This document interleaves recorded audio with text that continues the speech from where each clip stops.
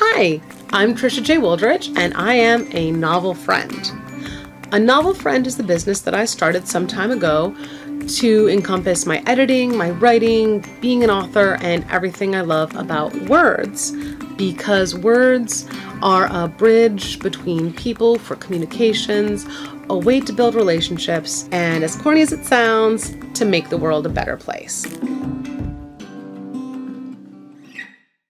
Welcome to week three of November. I'm Trisha Wooldridge of A Novel Friend, and this month I am doing a short story that I wrote as opposed to poetry uh, because it's a celebration of All Saints and All Souls, which is what kicks off November. Uh, it is called Cemetery Angels. It is in Dark Luminous Wings by Pole to Pole Publishing, and it is actually set in St. Stanislaus Cemetery which is very hard to say. And many of my family are buried there. And I'm just gonna jump right into part three of Cemetery Angels in Dark Luminous Wings.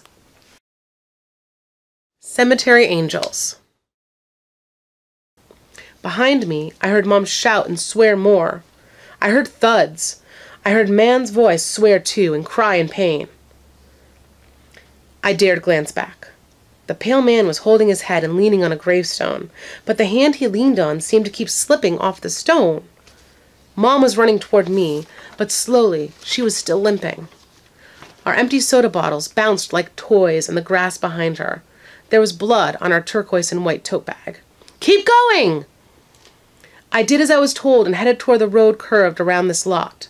There was one more square of graves before the roads funneled into the main alley terrace that passed the statues of St. Michael, St. Stanislaus, and all the priests who had worked for the Polish church. The Bondomobile squealed around the corner to the road I was headed toward. I stopped myself so hard I fell backward.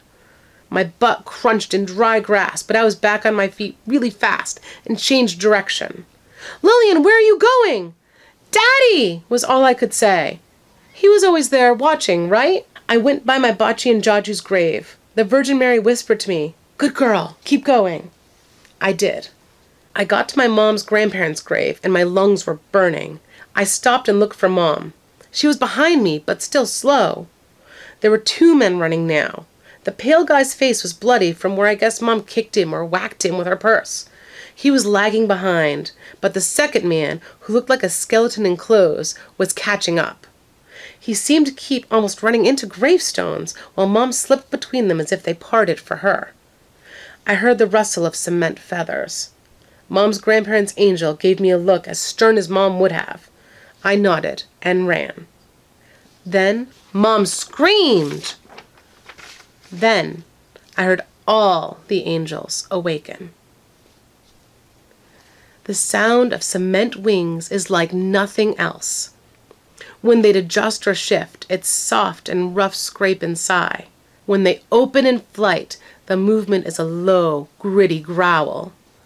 When you have a cemetery full of flying stone angels, it's a roar that shakes the ground.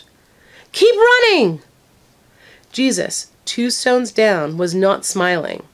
He looked quite angry, but not at me. His thorn crowned heart was beating as fast and as hard as mine. The uninjured skeleton man was right in front of me. His eyes were wide, bloodshot, with pupils so big they were almost all black. Even though all his veins stuck out over his face and neck and arm bones, he looked every bit as ghostly pale as the other guy. He snorted like a bull demon through his flaring nose and stank like oniony B.O. I yelped and fell. He grabbed for me. I flailed, hoping to hit or kick him. He backed up enough for me to run. I ran to Daddy. The dust from stone and cement rings rose to the sky, dimming the sun.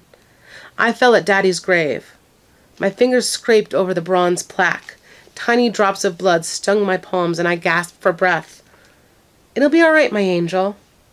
I felt arms around me. Daddy's arms. I tried to look up, but the angel wing dust stung my eyes and made me cough. He hugged me tighter. I squeezed my eyes open just a little so I could see through my latches. I could see his ghost. The car the men had come in was flying up the road. It couldn't seem to go straight, but it aimed up the veteran's path. I couldn't detect any breathing or heartbeat from Dad, of course, but he seemed calm. One hand smoothed my curls, like he used to when I had nightmares. The angels above us separated, uncovering more sunbeams that made Dad's ghost more invisible. Then, darkness and a roar of cement feathers blocked the light for one brief moment. A whistle of wind introduced a thunderclap as the biggest angel landed his bare feet upon the battered Bondomobile's hood, spearing the engine with a giant stone sword. The two front tires popped like gunshots, and the front end's metal screamed as it collapsed. I gasped, but wasn't frightened.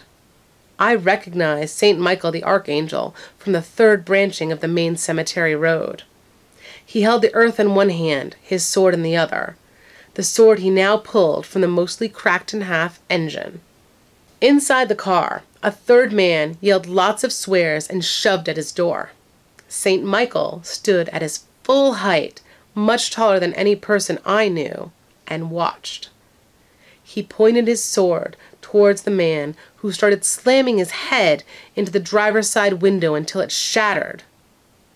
Blood covered most of the man's may as well be a ghost face and blossomed over his t shirt and jeans he fell onto the steering wheel and stopped moving altogether.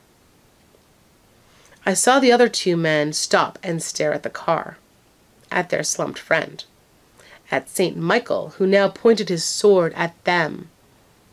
They had cuts up and down their arms and legs, their clothing hung in bloody tatters, and the cement dust of circling angel wings above us started to coat them, as if they were transforming into cemetery statues.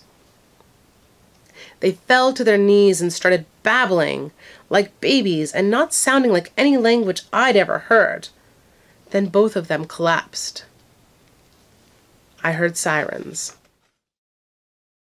All right, so that is the penultimate part of the story of Cemetery Angels in Dark Luminous Wings. Link below if you want to buy a copy. It's cool. And I hope you want to find out what happens in conclusion to the story. I will see you next week. Thank you so much for joining me. If you're enjoying this, please share, leave comments, subscribe, all of the above. And I will see you next week for the stunning conclusion of Cemetery Angels. Bye.